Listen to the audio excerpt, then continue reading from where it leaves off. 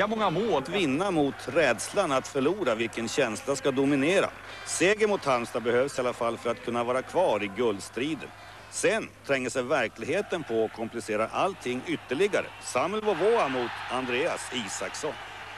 En frilägessituation och en frilägesutvisning. Dessutom straff.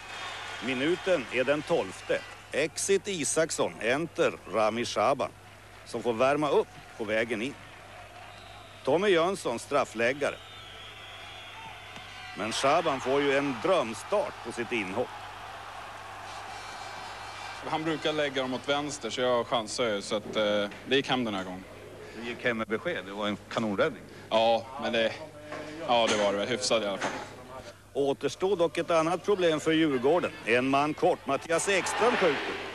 Samuel Vovoa spelade alltså istället för avstängde Stefan Selakovic och var ständigt farlig. Och visserligen var det söndag, men inga söndagsskoletakter precis.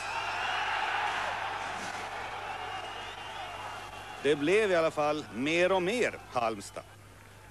Torbjörn Arvidsson nickar. Fredrik Andersson skjuter. Ja, Shaban blev verkligen uppvärmd.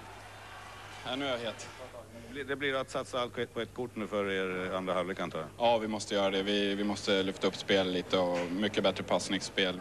Snacka går ju andra halvlek med den första lik. Halmstad mot Shaban. Mikael Nilsson skjuter. Samuel Vovoa lyfter. En Djurgårdschans, ren till Johan Wallinder. Nej, det var på den andra sidan planen det hände. Torbjörn Arvidsson. Och hur han Shaban där. Arvidsson får ju klockren träff. Det var lugnt på planen nu, lugnare än vid sidlinjen. Djurgårdstränaren Soran Lukic har sett en sak han inte gillar och det börjar bli tradition nu med Djurgårdstränare på läktaren. Men 0-0 klarar Djurgården och det såg faktiskt ut som om de var nöjda med det. Vi siktar ju på tre poäng, men, men att få en sån start och de spelar bra så vi får nog i slutändan kanske få nöjda med en poäng. Känns lite tungt, men, men så är det.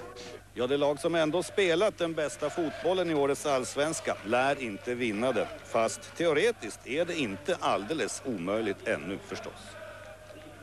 Rödblå Helsingborg hade också